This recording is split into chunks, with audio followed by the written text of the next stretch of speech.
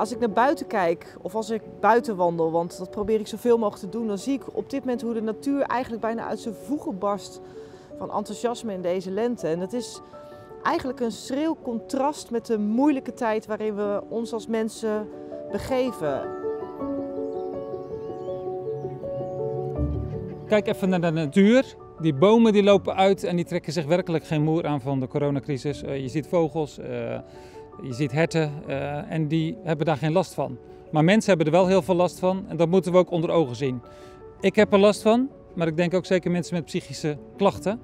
Ehm, hele simpele dingen die vroeger vanzelfsprekend waren. Bij elkaar op bezoek gaan, ehm, naar buiten gaan, gewoon in een groepje staan, naar de kroeg, naar het theater, elkaar een huk geven.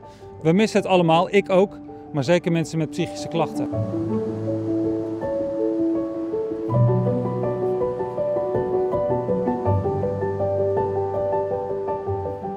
Uit een heel groot onderzoek van het RIVM is gebleken dat 1 op de 3 Nederlanders die hebben meer last van depressieve gevoelens, angsten, somberheid dan normaal, dan buiten de coronacrisis. En 1 op de 5 Nederlanders slaapt slechter. Dus je bent echt niet alleen als je je rotter voelt. En het is een hele moeilijke tijd, dus persoonlijk contact is soms ook moeilijk. Het is lastig als je alleen maar kan bellen of als je via videobeeld elkaar kan zien. Maar toch is het belangrijk dat je hulp zoekt. Dat kan je bijvoorbeeld doen door bij Mind te kijken, waar mensen die zelf ervaringsdeskundigen zijn op het gebied van psychische problemen en psychische kwetsbaarheid elkaar kunnen ondersteunen.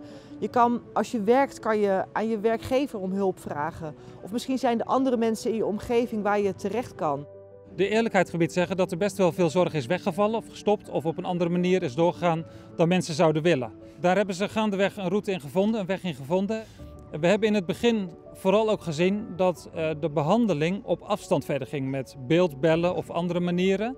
En dat is voor een deel van de patiënten best wel goed, maar andere mensen moeten echt face-to-face contact hebben.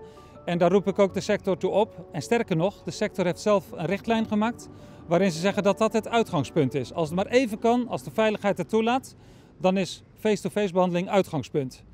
En uh, wij houden heel erg de vinger aan de pols om ervoor te zorgen dat mensen alsjeblieft toch wel die zorg krijgen die nodig is als ze met psychische nood kampen.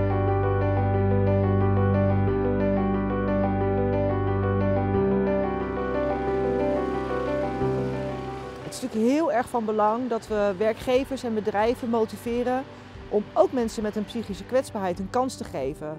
Eh, om ze aan werk te helpen of als ze aan het werk zijn om dat werk ook te behouden. En dat is makkelijker gezegd dan gedaan, dat realiseer ik me. Maar alsjeblieft, doe dat.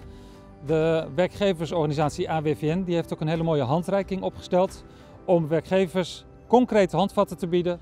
Hoe onderken je psychische klachten en hoe ga je daar volgens mee om? Want werk is eigenlijk ook een soort van medicijn. We weten uit allerlei onderzoeken dat als mensen met een psychische kwetsbaarheid gaan werken, dat ze er ook in gezondheid op vooruit gaan.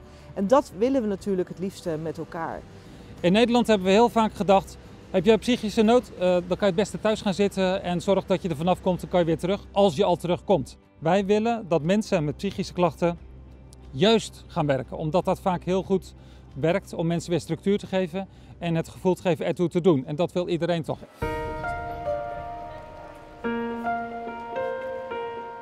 We hadden natuurlijk een hele ambitieuze doelstelling om meer werk te creëren.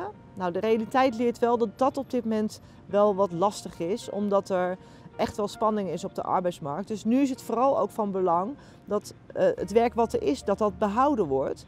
Maar ook dat we deze tijd gebruiken om bijvoorbeeld aan die vooroordelen te werken die er toch nog zijn als het gaat over mensen met een psychische kwetsbaarheid. En ik denk in het algemeen dat we af moeten van stigma's, van vooroordelen. Mensen met psychische nood, weet je wat, je kan het beste thuis gaan zitten. Alsjeblieft, van dat beeld moeten we af. Dat zijn mensen met talenten. Geef ze een kans en daar zul je ruim voor beloond worden, ook als werkgever. Hoop dat juist in deze tijd uh, werkgevers en mensen op de werkvloer met een psychische kwetsbaarheid, misschien ook de jobcoach, echt goed met elkaar in gesprek gaan om te kijken wat er nodig is en hoe we ook de capaciteiten die mensen hebben, ook in deze crisistijd, heel goed kunnen inzetten. En ik hoop dat we daarmee een mooier klimaat gaan organiseren voor mensen met psychische klachten en hun hele omgeving, want het is een oproep aan ons allemaal.